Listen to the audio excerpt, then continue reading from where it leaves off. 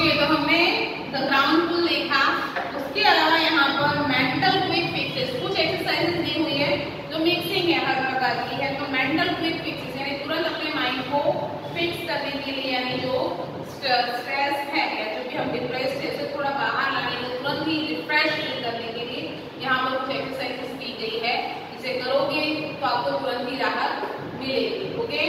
तो उसमें पहला दिया हुआ है put on some music you like and dance through the room तो कुछ म्यूज़िक चालू करना है, संगीत चालू करना है और आपके रूम में आपको क्या करना है? डांस करना जैसा मन है वैसे डांस करना है। This creative activity exercise is the right side of the brain and help rebalance of your brain तो क्या करेगा? जो ये एक्सरसाइज है, ये आपके राइट साइड का जो ब्रेन है, उसको एक्सरसाइज प्रदान करेगा, उसको कसरत प्रदान करेगा। और ये आपके ब्रेन को रीबैलेंस यानी पुनः संतुलन करने में मदद करेगा। ओके सेकेंड है get a fees time and watch the fish swim around languidly ठीक है तो आपको एक मछली घर लेके आना है और उस मछली घर को उसके अंदर मछलियों को तैरते हुए देखना है काफ़ी टाइम तक this allows your mind to calm down उसे आप काफ़ी टाइम तक अगर मछली को देखते हो तो इससे क्या होगा जो आपका माइंड है वो काम डाउन हो जाएगा यानी शांत हो जाएगा Write down all your worries, putting them on a piece of papers. Paper gets them out of your head. क्या करना है आपको आपकी जितनी भी चिंताएँ हैं राइट डाउन लिख देना है। पुटिंग देम और उन्हें क्या करना है? पेपर के टुकड़े में उन्हें क्या करना है? लिख करके रख देना है। Them out of your head और आपके सर पे से घुमा करके उसको फेंक देना piece of paper get them out of your head आपके सर पे से घुमा करके उसको फेंक देना यानी कि जो भी सारी चिंता है, जो भी सारी मरीज़ है, वो छूमंतर हो गए हमारी लाइफ से। फैली गई इस प्रकार से सोचना है। तो ये भी चीज़ आपको काफ़ी रिलैक्स करेगी नेक्स्ट है get out into nature and walk क्या करना है आपको? नेचर में, यानी कि आपको बाहर वॉक करने के लिए जाना है, थोड़ी देर प्रकृति में जाना है और थोड़ी वॉक कर लेनी है। Concentrate on what is right now rather than what might happen tomorrow तो आपको ध्यान देना है कि अभी क्या चीज़ हो रही है उस पर ध्यान देना है। बल्कि इसमें नहीं कि कल क्या होने वाला है ओके कल एक, कल एग्ज़ाम में मैं क्या लिखूँगा, क्या लिखूँगी, ये को ऐसा होगा आज हमको क्या करना है? जो आज का समय उसको माइंड को शांत कर करके पढ़ाई करनी है, ओके? यानी कल की चिंता नहीं करनी है, अभी प्रेजेंट में जीना है प्रेजेंट में हम जो कर सकते हैं जो भी हमारा कर्म है उसे हमें करते जाना है। The bath and use the shampoo bottle as a microphone. क्या करना है? नहाने गए हो आप? आपको ज़ोर ज़ोर से गाने गाने भले जिसको पागल समझता हो समझे और आपका जो शैम्पू बॉटल है, उसी को अपना क्या समझ लेना? माइक समझ लेना है।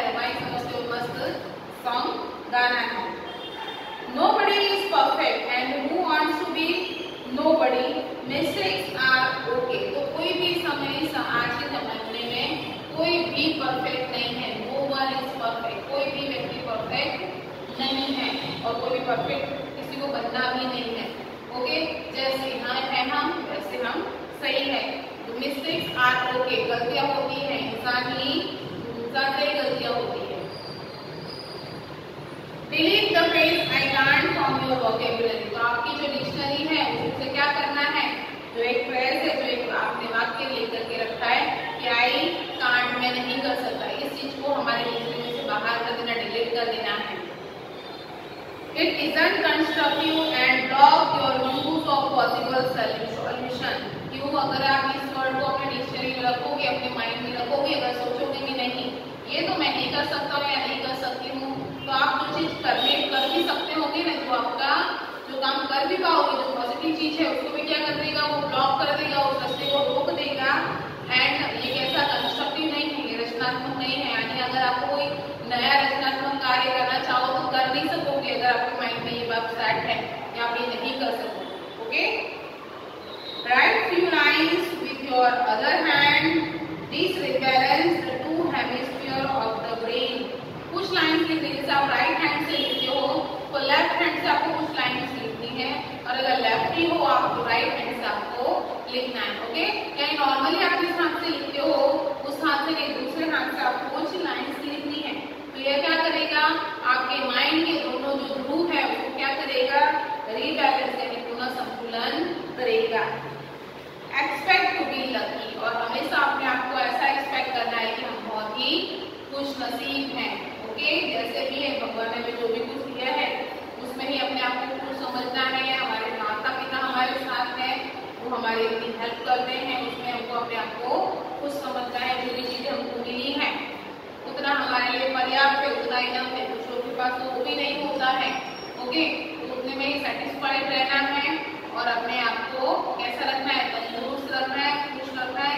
तंदुरुस्त मानसिक रूप से भी फिजिकली तो है ही, उसके अलावा मेंटली भी अपने आप को तंदुरुस्त रखना है। ओके तो आपका जो भी डिप्रेशन है, जो भी तनाव है, वो आपको क्या करना है? अगर होता भी है इतनी सारे हमने एक्सरसाइज देखा वन देखा टू देखा, उसको फॉलो करना है और इस चीज़ को अपने माइंड से दूर रखना है। डिप्रेशन तनाव से हमें बहुत ही कॉस्टोमेज इनकी बना करके रखते हैं ओके होप आप सभी लोगों को ये समझ में आया होगा ओके तो